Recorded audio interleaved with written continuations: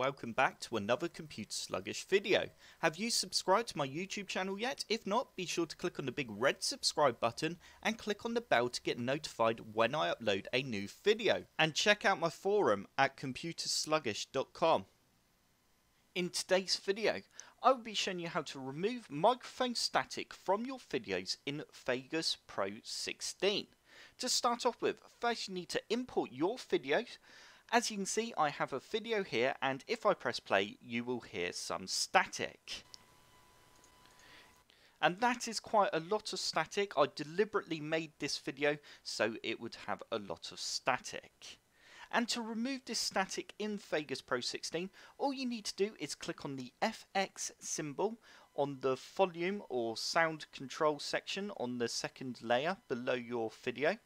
You will then end up with a window that looks like this. You now need to double click on all and you now need to click on Express FX Audio Restoration and press Add.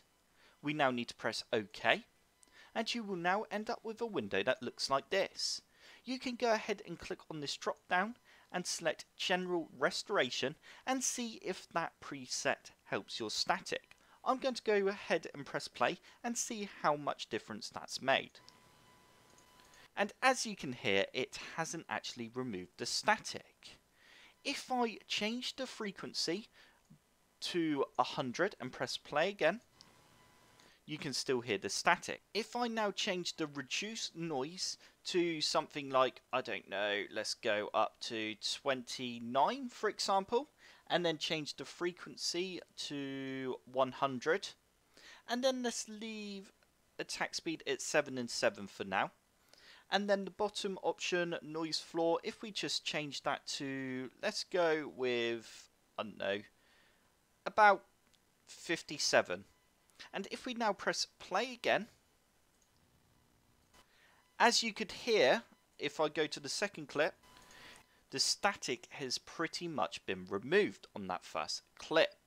And that's how simple it is to remove static in Vegas Pro 16 on your videos. It does require a little bit of playing around on these settings. For example, if I now save this, let's just save this as test and then go save. If I go on to my next clip and go FX and then re-add the audio restoration and go OK, and if I now select my test, because I'm talking in this clip, it may not be as good on these settings. Let's just press play. In today's video, okay, as you could hear, the static has actually been removed from that video as well. If I now just remove this Event FX and then press play, you will hear the static in this video. In today's video, there you go, you could hear the static. And that's how simple it is. I hope this tutorial has helped. If it has, hit the like button below and subscribe for more computer sluggish tutorials. Don't forget to check out my social media channels and forum.